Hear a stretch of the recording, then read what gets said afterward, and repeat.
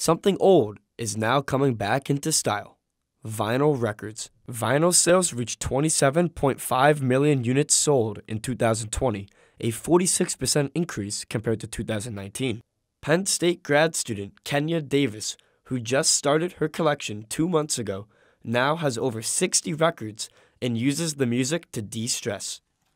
Yeah, I think it definitely helps with mental health and it helps get through the pandemic, especially when you're isolated. And you go through the whole breadth of human emotion just in one record. So I think that music can really help people's mood.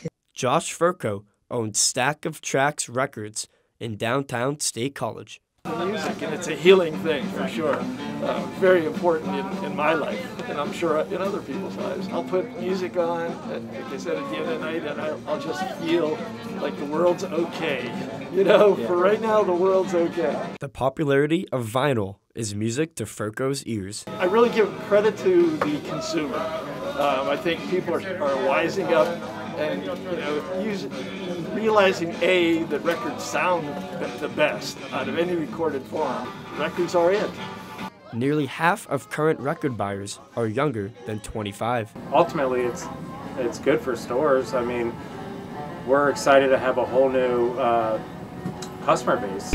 A whole new generation of music lovers with an old school way of listening. I'm Andy Kuros for the Centre County Report. We hope you enjoyed watching the video. Be sure to subscribe to our YouTube channel if you did. For the rest of our newscasts and featured stories, click here. And for sports, click here. Have a great day and thanks for watching.